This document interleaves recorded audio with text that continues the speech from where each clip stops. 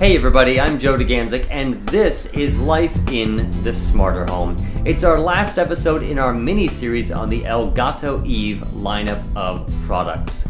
These are HomeKit-enabled sensor products that we've been talking about, such as Eve Weather for temperature, humidity, and barometric pressure, Eve Door for the open-closed states of your doors and windows and practically anything that you can stick the little sensors on, and this time we've got the Eve Room a temperature, humidity, and air quality sensor.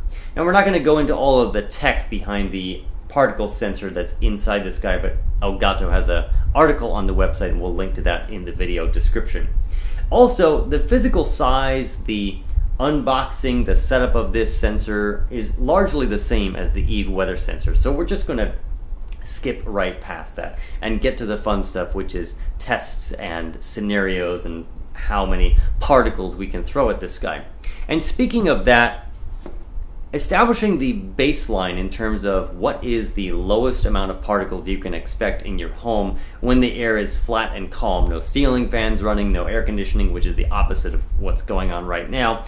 And I live in Phoenix, so it's the desert. Lots of stuff in the air all the time, whether, whether you're inside or out. So let's jump into the app We'll go into the air quality uh, right now. You can see it's actually at excellent, but I'm going to jump into the bar, into the uh, the little graphs that they have. It was a lot higher when the air kicked on about mm, probably a half an hour ago. I've been running the fans and so forth to stir it up. So scenario one, the baseline roughly sits at about 450. Scenario two, the bar graph starts to go up ceiling fan goes on, starts to move the air around. Scenario three, of course, you bring on the central AC and potential particles in the air and in your ducting and so forth. All that stuff gets stirred around. And then it starts to come down a little bit because there's just only so much stuff that can be moved around in the air and it does tend to settle out a little bit. So that's that's our three initial scenarios and tests, but of course we've got a lot more. So what's the next thing possibly that I could do that would stir up and put a lot more particulates into the air. What could that be? Cooking, of course. Cooking on nearly any level, from just chopping vegetables, we all know what onions put out, to boiling and simmering and baking and braising and grilling and, well, just about everything in between can put out various vapors and volatile oils and particulates and whatnot into your home's atmosphere. People can be allergic to some of these cooking odors. Some people don't like um, being somewhere where fish is being cooked. And even for some pets, including small birds, it can even be fatal depending on what you're doing in the kitchen. So what are we doing in the kitchen? This is just some warm water and we're gonna simply get it to a rolling boil. And as they do say in the cooking show industry, we'll be right back. Okay, so here we have our delicious, very hot, boiling, rolling boil. Can I add any more adjectives to this? We've got boiling hot water. Okay, so let's go ahead and pull up the app right now and refresh and see where we are. And uh, the magical answer is 742. Now that's a little bit higher than when we tried it, just to be fair, we tried it with the microwave with a little bit less amount of water. So it was a little bit uh, less, it was around 600 or so after a couple minutes of the particulates reaching the Eve room. So, all right, so that's boiling water, but that's rather boring. What else could we do? Maybe some sort of test with, um, and the mystery item is sweet potato fries, or I should should say are sweet potato fries. I mean, who doesn't love these little guys um, at any time of the day? But for breakfast, they're fantastic. They've been going for about 10 minutes. You see a little bit of the uh, grill marks on them. I'm not going to turn this into a whole cooking show, although I used to actually produce cooking TV shows.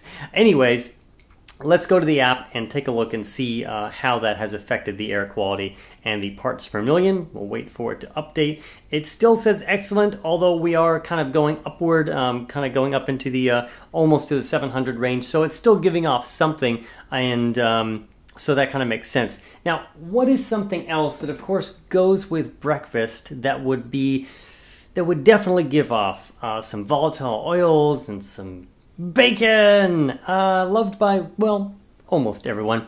And kind of on the opposite of the health spectrum from sweet potato fries. Let's see, though, on the app what the numbers actually say according to the Eve room. It was spiking up to about a thousand or so just a couple minutes ago, a 1418 fare. So this has been cooking for about 10 minutes or so. Um, kind of getting nice and crispy, and I really can't wait to eat it. Um, but on the spectrum of rounding out our little cooking show, what hot beverage could go with my wonderful um, sweet potato fries and bacon? Coffee. Let's let's get some started. Wouldn't you rather go to Starbucks?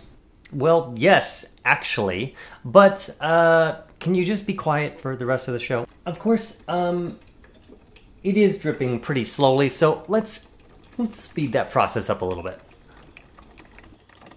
Okay, so the coffee is done. It's been finished brewing for a few minutes now. Let's jump over to the app and uh, we'll just pull down to uh, refresh the latest information. And uh, I checked it a couple times during the brewing process. Um, now it's gone down, but we can jump in here and we'll just kind of just quickly look. You can see it kind of has gone up and down. It was up in the 800s during the brewing process, started coming down. So, question is, if it's not breakfast time, if it's maybe a little bit later in the day, and say you might be trying to create a romantic mood. Well, of course, nothing goes better with romance other than perhaps flowers and chocolate. Quite like candlelight. And an overabundance of said candlelight combined with a dash of home automation magic can create quite a beautiful ambiance glow. Now, these candles, 10 to 15 of them perhaps, have been burning for about 10 to 15 minutes or a little bit longer, heating up the room and of course adding to particulates and smoke and little bits of wax and things. Anything on fire is going to do that. So let's go ahead and pull down a refresh. It's been updated recently. We've run this a couple of times and we'll see that we are currently, the Eve room thinks it is about 775, so good. Good is I, what I would say. And Obviously, public service announcement, be careful with fire, be careful with the quantity of candles and where you place them and don't take our uh, uh ideas for what you might do. So one last test to run and I'll let you guess what that might be.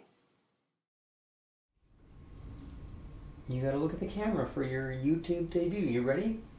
Oh, oh, uh, sorry, just kind of goofing off here. Uh, where are we? Oh yes, pets. Pets, even, yes, pet ducks. Uh, he normally actually lives outside. But as we all know, of course, um, dogs, cats, well, feathered animals, and just about everything in between that can live indoors uh, or you know outdoors most of the time and indoors some of the time. Whatever. People can, of course, be allergic. Um, pets, whether they're winged. you did that like not even on cue. Like that was amazing.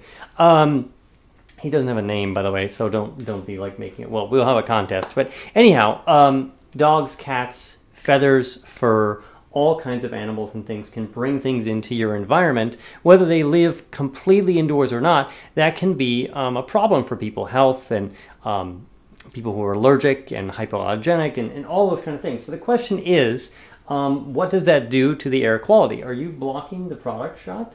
Um, so literally, and he's been in here for a while, kind of cooling off. He was panting earlier because it's literally 112 outside, according to the Eve weather uh, out in the backyard. But let's take a look right now because we've got the Eve positioned pretty close to him. Let's take a look at the living room and uh, let's see and have it go ahead and update. Updated just now. Wow, excellent air quality at just 450 parts per million. So that's pretty good. So he's actually um, been inside for a while. So maybe anything that he brought in has kind of like settled down. This takes a snapshot, you know, as real time as we know. So not too bad. You haven't made uh, you haven't made the air quality um, any worse in here. Oh, and you can like quack on command. He's a male. This is a Rouen this is not National Geographic, but it's it's it's a Rouen. He's a Rouen. He's not a mallard. It's illegal to actually own mallards.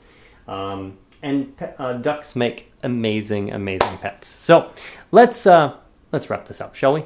I hope you enjoyed all the tests of the Eve Room Sensor. It does seem to be a great little product, and I've had a lot of fun learning about the air quality around my place. This and the entire line of Eve products is best with iOS 9 and later, and they are software upgradable, so they're expected to get better over time, just as Apple continues to improve iOS and HomeKit. And of course, speaking of HomeKit and other home automation tasks that you can do, you can, hey Siri, what's the temperature in the living room? And my butler is asking around. The living room current temperature is at 79.9 degrees. And perhaps slightly warmer just because I have it in my hand. A big thanks to Elgato for sending us their products so we could make these reviews. If you want to get one of these yourself, on Amazon.com you can find them at $75. And if you use the link in the video description, you will help support the show. Speaking of that, if you like our episodes and you haven't yet subscribed, not sure why, head over to youtube.com slash smarterhomelife and click subscribe. If you love this kind of content, please consider becoming a direct supporter. Head over to patreon.com slash smarterhomelife. I couldn't do these shows without your support. I'm Joe DeGanzik. Thanks for watching. See you next time.